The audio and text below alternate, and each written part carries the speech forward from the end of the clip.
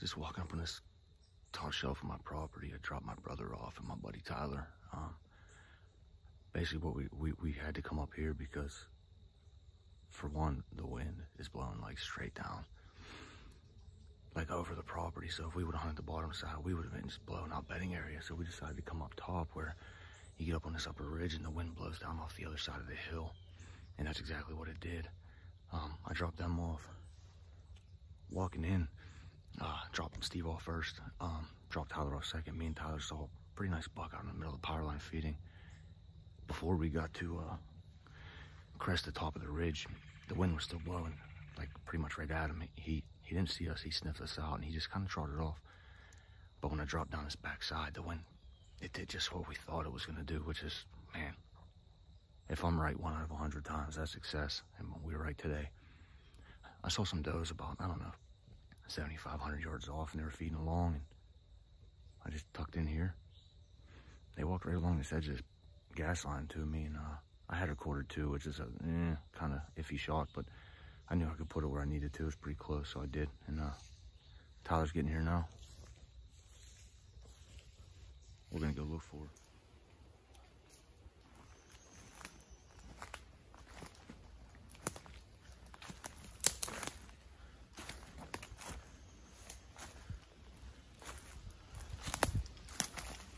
Where at?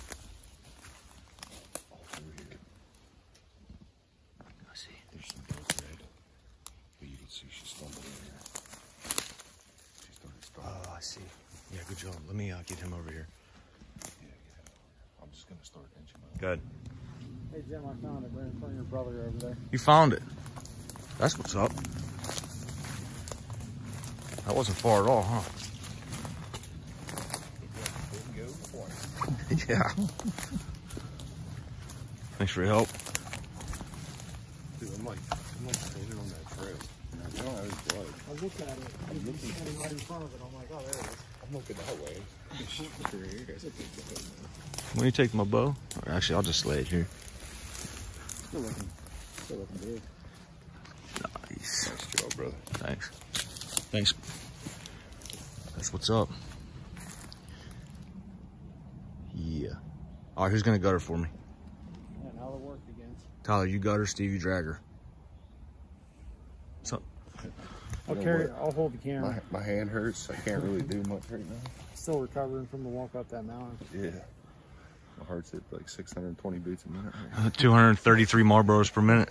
That's right. Thanks for the help, dudes. Yeah, man.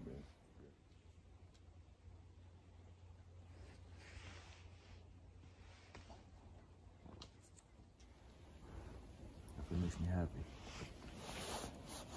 I'm just get get soft as you get older. Yeah, but you know, it's uh when you have a situation like that, I mean, that's an absolute perfect shot. It's tough to shoot them in their face and you like quarter to, you like that's. Yeah, but she was, gotta- I mean, she's dead on her feet, you know? I mean, I held that draw back for quite some time. You have to. Just watch your, your broadhead may still be in her because I never found your area. That's long. Look at that.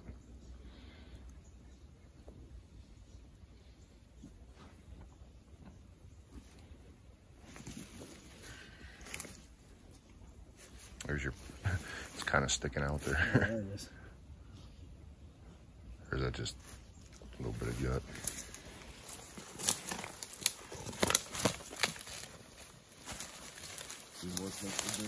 That's right.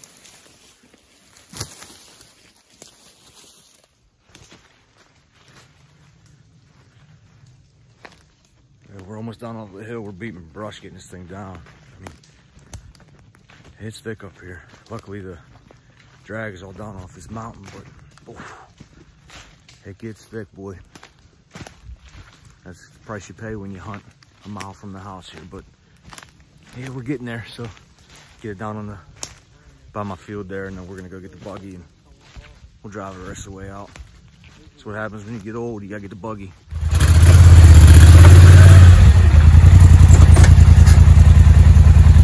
I'm gonna lie to you, this bike is fast.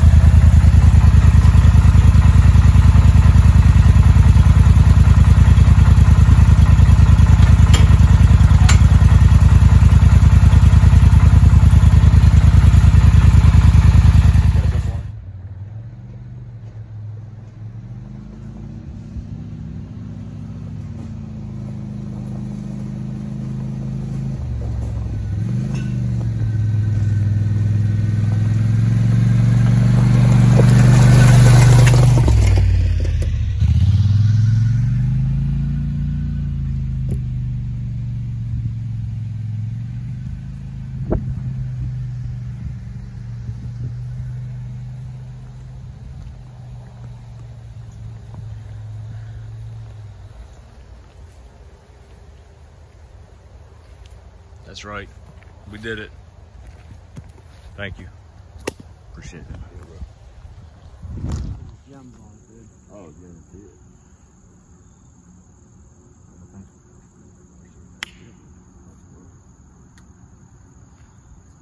Teamwork makes the dream work.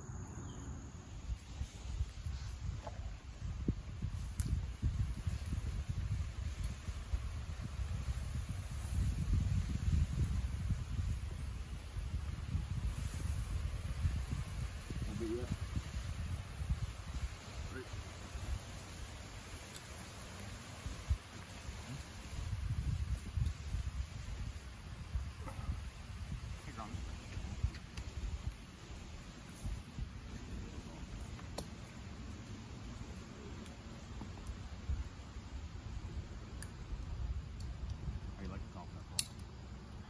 Nice.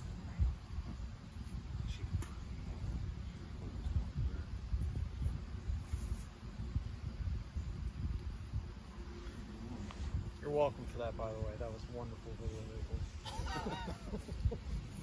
that would be a perfect ending to it, man. Yeah, that's gonna do it for today for me. Uh, it's so early yet. Just got back to the barn and coffee's still warm.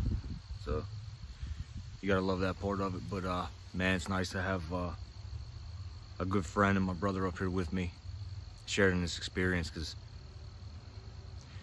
without without the friendship and the camaraderie, it's just not the same. And I think everybody who who hunts and you know whether you belong to a camp or whatever it may be, you you know what I'm talking about. That just sharing these special moments, uh, it's, it's important. And you know, a lot of guys will say like, don't shoot does or it's just a doe, whatever. But I promise you, just the time we had together in the woods, I, I'll never forget this one. It's the first deer that I got to harvest on my own property. Um, on the ground with a bow and you know it's just these, these special times it's beautiful day beautiful morning leaves are falling. What, what else can you ask for as a bow hunter especially in pennsylvania? I mean just just a beautiful place to hunt beautiful place to live and uh, surround yourself with beautiful people. You have a good time. Uh, we'll catch you next time. Thanks for following us and uh, good luck